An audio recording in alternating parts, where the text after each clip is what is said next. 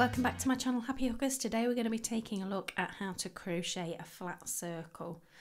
Now I've currently, I've currently, I have actually moved house um, in the last couple of weeks. I know great timing and everything and I've been obsessed with making um, lots of lovely new coasters to go around the house in this gorgeous mustard colour and the yarn that I'm currently in love with if you follow me over on Instagram is this Sirdar number one chunky and oh it feels just it's buttery is the only word I can describe so I've crocheted this flat circle using double crochet in US terms and the reason for that is it builds up so quickly we've only got five rounds um, I think I made about four or five last night while my partner was watching a movie and we sat chilling out on Easter Sunday so really really nice sort of perfect lounge um, activity, providing your cats obviously don't eat your yarn like mine do. So let's get started. So for this I'm using a 5 millimeter crochet hook and you're going to start, if I can untaffle my yarn, there we go, I'm going to start with a magic circle and if you're unfamiliar with how to crochet the magic circle um, I'll pop a link above however the way I do it is I wrap my yarn around my two fingers like that I take it over and cross it over I pick my hook up and I pick up this one spinning it round I then do a little turn so that it's made a little crossover there and then I pick back up the yarn like so. It is quite tricky for beginners so I would recommend definitely practicing it or watching the other video in a little more, bit more detail. So we're going to chain two and the thing about my crochet circles is I don't count the chain two as a stitch. Now traditionally you would count your chain two or your chain three as a stitch but I tend to find that if you do that and let me just grab the circle back if you do that what you get if we take a look at this ooh, rogue bit of yarn there is you will see where your your seam has been now I can see here very easily that my seams here what you will get is you will get some gapping or gaping not a very nice word um, like this so by keeping those chain twos as extras and they don't really affect the circle at all and make it bulge. What it does is it makes sure it's really nice and thick and full around the join. But it's completely up to you if you want to ignore, um, you know, if you want to ignore this and you want to count this as a stitch, please by all means go ahead. So once I've done my slip knot or made my magic circle, I do an extra two chains and then we're going to create 10 double crochets into the circle. So yarn over, insert into the loop, I nearly said hoop then, yarn over, pull through two, yarn over and pull through two. So exactly the same again, you're going to yarn over, yarn over, pull through, yarn over, pull through two, yarn over, pull through two. I've just realised that it's a little bit dark and I'm going to open my blinds because for once the sun is not blaring in. And I don't know about you. Ah, there we go, some daylight. But when the sun's bright, filming it can be awfully annoying. Anyway, sorry about that. Let's carry on. So we've got our two double crochets here and our chain of two. So we're going to do eight more. So yarn over, insert into the hook, yarn over, pull through two, yarn over, pull through two. And you're going to carry on all the way until you've got 10. So I'll, I'll do my 10 along with you so that we can do our 10 together. And I hopefully not have any interruptions by me opening my blinds or my cat scratching at the door. I did envisage I'd be one of those extremely polished um, in crochet YouTubers with my studio set up and everything going right. But I've learned that, do you know what? Real life is real life and something will always get in the way. A cat will always eat my yarn or my partner will decide he's going to put the washing machine on. Um, so I don't know if other people have struggles, but please do share them with me. What are your biggest crochet interruptions, even if you're just sat crocheting or you're counting? Oh, the counting interruption. I mean, how many bags and tote bags and t shirts have that on? So here we go one, two, three, four, five, six, seven, eight, nine. One more. Perfect. So once you've crocheted your 10 double crochet, give yourself a little bit of room and then you're going to locate your tail and the best bit in the world and I always feel this should be accompanied by this noise ah, as it closes tuck that nice and tight pop it round the back pop your hook back in and then you're going to join with a slip stitch now I do do, do joined rounds and the reason we do joined rather than continuous is because it's such a tall stitch um, you're going to want to join the rounds so what we're going to do for me, can you see I've got my 1, 2, 3, 4, 5, 6, 7, 8, 9, 10. So I'm not going into this bit here, I'm actually going into my first stitch.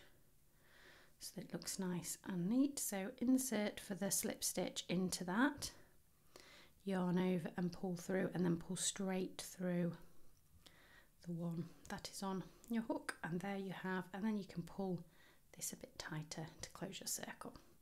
So I'm now going to chain two.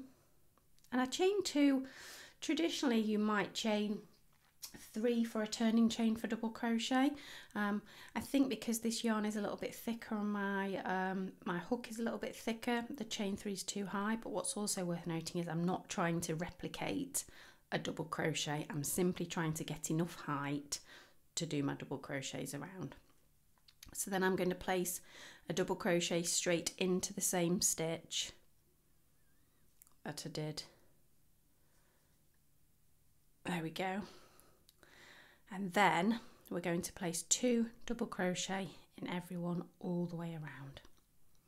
So if you carry on placing two double crochet when you get round to the other end, so and I'll just do a few for those unfamiliar with the double crochet so remember it's yarning over inserting into the stitch yarning over pulling back through yarning over pulling through two yarning over pulling through two so yarn over insert into the same place because we're placing two yarning over and pulling back through yarning over pulling through two yarning over pulling through two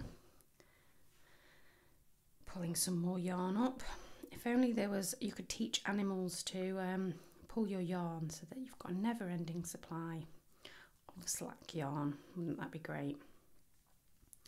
So two double crochets in every stitch all the way around. Oh, if you haven't tried this Sirdar number one chunky, I would definitely recommend heading over and buying some. I use Wool Warehouse for most of my yarn, and um, their, their service is fantastic, um, and their collection is just just really, really good. Um, in terms of pricing, I, I, think they're relatively competitive. I mean, if you do have a local yarn store, I do always say, you know, please do support local. Um, it is really, really important. And you also find that there's a really nice um, crochet community or or fibre arts knitting community at your local stores.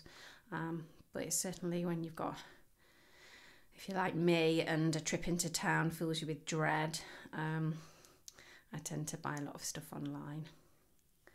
Okay, so we're nearly back round at the end. I've got a couple more to go and then I'll show you how I do the end.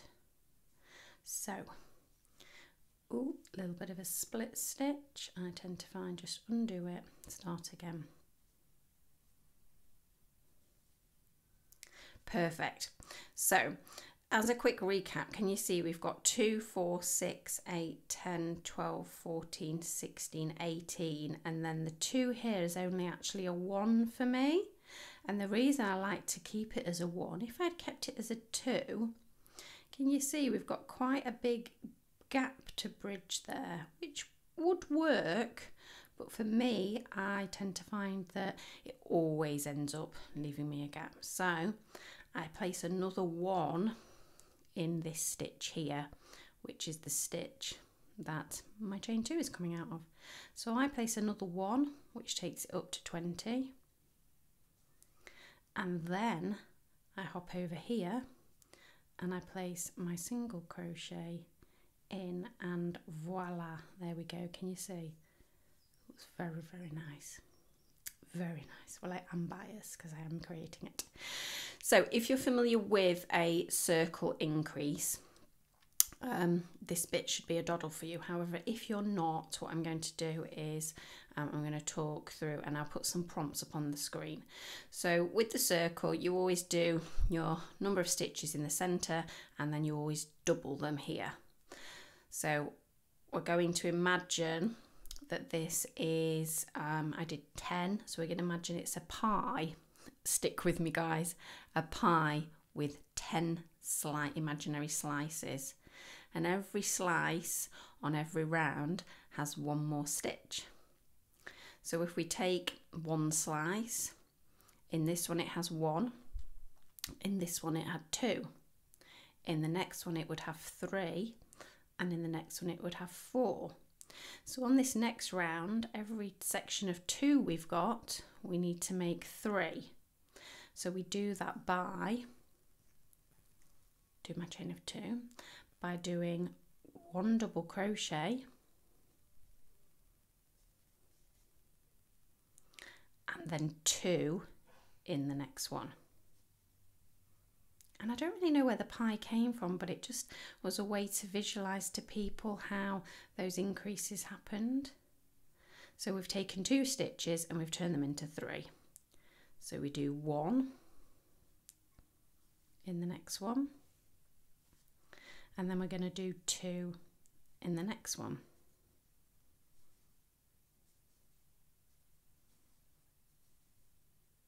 Yeah, one in the next one two in the next one. I'm going to stop saying one in the next one and two in the next one because I'm pretty sure we've got that. But if we crochet along together and uh, have some random chit chat. So it's currently Easter Monday here. Um, it's a little bit dull where I am. I live in a little village not far from a city called Lincoln. Um, not a lot to do was going to go on a bike ride. Um, I don't know about you guys. Um, lots of barbecuing yesterday. Um, I could certainly smell that. And lots of jobs already been done. So today is the perfect day um, for filming. So one, then two, then one, then two, then one, then two. And then later on, I think I'm going to do my favourite activity, which is a good old Instagram scroll of some of my favourite crocheters. And I've actually got a video up last week. I'll pop a link below with my, my current favourite five inst crochet Instagram accounts. And I mean, cutting it down to five was certainly tricky. So um, please do check it out, and uh, I'd love to hear your your favourite Instagram accounts. Um, I used to find that Pinterest was probably the best area to go, and certainly for patterns and things, Pinterest is still one of the best places, and obviously Ravelry. Um, however, Instagram just for inspiration and oh, the photography there. Oh, amazing, amazing stuff. Some really talented people on there. So what I like to do here is I'm just double checking because I'm chit chatting away um, that I am doing my one and my two and my one and my two. Um, because we're using the double crochet, I don't tend to find that you need to use stitch markers. Um, however, if you are more comfortable using a stitch marker, um, please do. Um, you can quite easily kind of see where the end of the round is. If you're using continuous rounds, then definitely do a stitch marker. I can't tell you the amount of times I've thought, oh, I don't need a stitch marker. I'm an experienced crocheter. Big mistake. No matter how many years you've been crocheting, do not think you don't need stitch markers. You're going to spend a lot of time pulling your work down in frustration. So I've just done my last um, two and I'm very close. So I, I know that where I'm at now is, um, is certainly very close. So what we're going to do is we're going to just do a little count up here. So we're going to count 1, 2, 3, 4, 5, 6, 7, 8, 9, 10, 11, 12, 13, 14, 15, 16, 17, 18, 19, 20, 21, 22, 23, 24, 25, 26, 27, 28, 29, 30. And we need 30, and 30 is the perfect number. So what I'm going to do is I'm not going to be placing one here because I only need 30 and I'm pretty confident that that's going to work quite nicely for my 30. Perfect. So we've gone 10, 20, 30. And the reason it's going up in 10 is because we've got 10 in the centre. So whatever number it is in the centre, it's always going to go up by that number. So next, imagine those pieces of pie. One stitch, two stitch, three stitch. You've got it. We're going to put four stitches in each section of three. And it's really, really simple. What you're going to do is you're going to do one double crochet another single double crochet single double crochet cracky if anyone was listening that didn't know crochet they would wonder what we're talking about so single single and then an increase so two singles and then an increase so there we've taken our three and we've made it our four and then our next one we'll simply be doing three singles, and an increase. And you can keep going as many as you want. So let's get on to this round. And this can actually be the final round. I mean, I made my, I've lost it now. Where is it? I made this one a little bit larger because I just wanted a little bit more space around. It does work nicely for mugs and things, but it also works nicely for kind of pots and plant pots, etc. So let's go. So a double, a double oh a split stitch no a double a double and then an increase and then we have our increase perfect oh, watch is going off I turn all my notifications off bar that single one so a double a double and an increase. She says as she then skips over. That's why I always like to have a little check and just go, yeah, I've got a two there, I've got a two there. There's me telling you all to, uh, you know, hop down and do this while you're watching the television, um, and then wondering why it's turning into, you know, a little cone rather than a, a coaster. So, two in this one another one in there, a double, a double.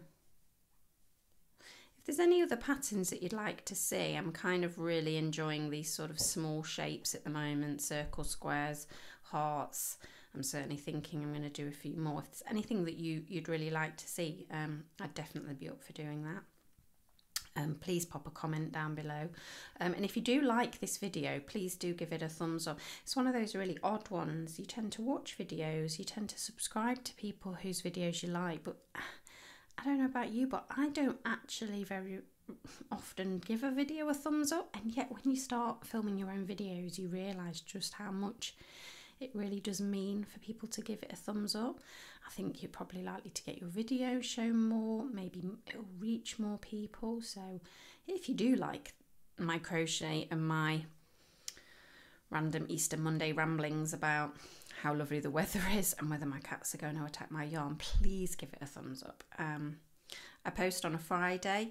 Um, every week there's always a new crochet video. Um, I've recently been exploring some new stitches um, because I do love textured crochet work. So if you are interested in um, new crochet stitches, learning something different, you know, breaking away from singles and doubles um, and colour, um, I'm really keen to introduce neutrals and plain colours but add interest and variety through stitches and textures and that's kind of the crochet journey that I'm going on at the moment um, so if you're kind of in the same place, um, yeah, definitely. Please give me a uh, cheeky subscribe, and uh, I'll be back again on Friday with some new bits.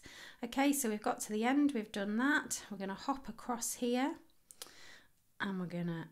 Can you see? how that has made a little bit of a gap. Now that doesn't please me at all. So I am going to, the first thing is to check and think, oh, have I not done enough stitches? But I know I have done enough stitches, but it just so happens that the way it's fallen. So I am going to break all the rules and I'm going to put one more in there. Why not? Who cares? put one more in. It's the last round. If you are putting one more in, just be careful on the next round that you're going to have to just put one more in. But look at that. Look at that. Let's call this no rules crochet. So I'm going to finish off. So the way I like to do this is if I get myself, or if you haven't got these darning needles, they are an amazing set of darning needles. There's actually a link below in the description to them on Amazon where I pretty much buy everything. But the is just such a handy little pot. Um, and they certainly don't end up down the side of the sofa like a lot of needles do. So what you're going to do is you're going to snip off, give yourself a good six inches. Um, she says as she cuts 18 inches. Pull that through and then you're going to first time. I mean, yeah, look, have you seen the size of the hole in this needle? Fabulous. So this is the bit that can be a little bit tricky. What I like to do is I like to pull it back to the right as if I were finishing the stitch. And then I just like to take it around and pop it, the needle, oh, focus, through the two there, like this. And just very gently making sure that I'm not tugging it and making it quite clearly looks like the top of an orange um, like that and then turn it over and then to just make sure it doesn't get pulled anymore I just pop a little stitch I don't know why I'm whispering it's almost like the care more careful you have to be the softer your voice has to go okay so we'll turn it over so the aim here is to take this yarn and weave it all the way down to the middle. Because this is quite chunky, it is quite forgiving, it won't really matter um, where I kind of poke it. Um, it's probably best not to try and split your stitches if you can help it. Um, so I'm just going to weave that down there. Careful not to pull and pull that bit in. That should be okay. Um, if you're using these as coasters like I am, you're probably going to find that, oh, and look, straight back into the little handy holster. Ooh, my needle holster.